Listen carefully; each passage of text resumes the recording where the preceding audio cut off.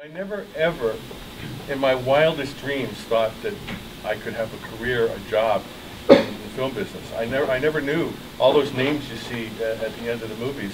Somebody actually had to get paid to do those jobs. It never even occurred to me.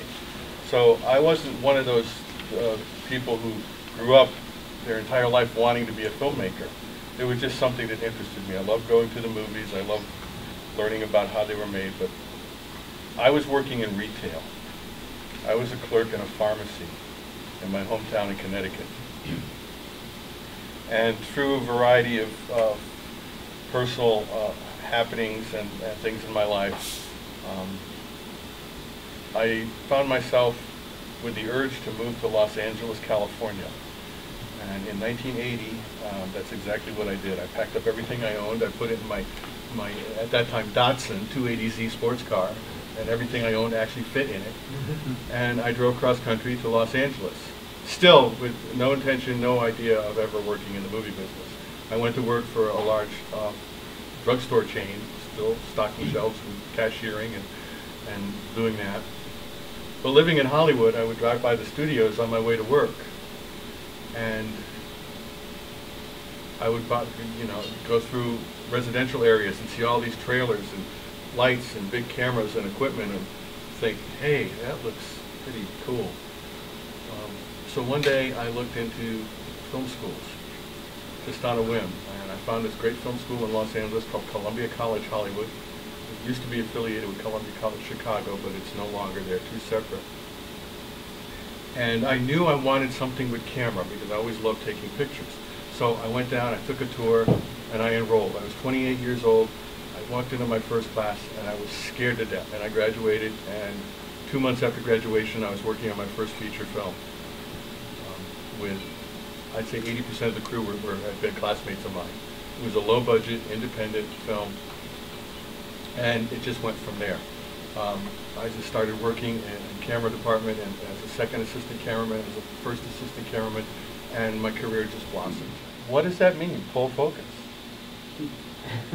keep the important part of the picture in focus Oh.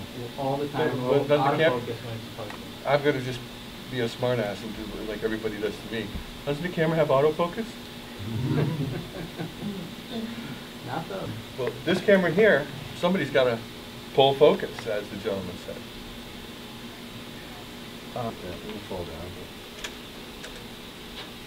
How many of you have ever used a gearhead? Anybody? It's really hard.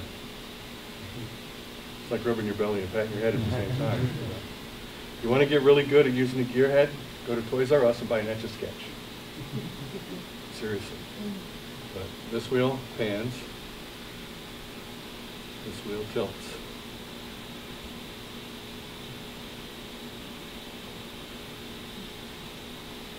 Now we can also put this camera on a standard fluid head that has the, like the, the heads on these tripods here. So you just grab the little stick and pan and tilt.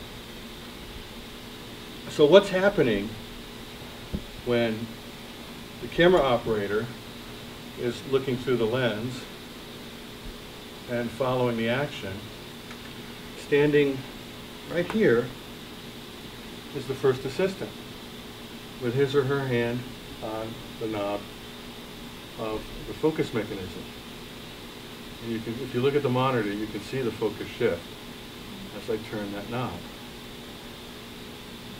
So I like to tell people, when, when people, what I call civilians, people who are not in the business, when they say, well, what, did, what does a first assistant cameraman do? What do you do? And I say, I focus on things I'm not looking at. And they look at me kind of like you're looking at me. because I'm not looking at it through the lens. The camera operator is standing here looking at it. I'm just standing here. And nine times out of ten, I didn't have a monitor when I worked in Hollywood. I hate monitors. Too distracting. So I'm just watching where the actors are, where they're walking, where they're moving. And I can see there's some T marks on the floor here. So we put T marks on the floor, on the ground, for the actors. And I measure from the, what's called the film plane, where the film sits in the camera, to their positions three feet, six feet, eight feet, ten feet, whatever it may be. And as the camera operator is following them, I'm turning this knob to keep them in focus wherever they, wherever they go. And those marks are a reference. A director, a producer, a cinematographer will not accept the excuse, well, the actor missed their mark, that's why it's out of focus. If the actor misses their mark, it's my job to miss my mark the same distance.